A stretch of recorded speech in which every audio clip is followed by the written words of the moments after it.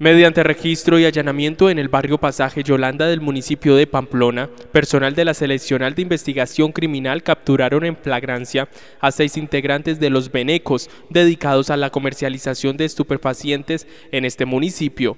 Mediante audiencias, un juez de control de garantías les dictó medida de aseguramiento en centro carcelario. En las diligencias fueron hallados 15 cartuchos 5.56 milímetros, 150 gramos de bazuco, 433 gramos de marihuana, dos armas traumáticas, un arma de fuego tipo trabuco, siete teléfonos celulares los cuales presentan reporte de hurto, dos grameras y dinero en efectivo producto de la venta de las sustancias alucinógenas.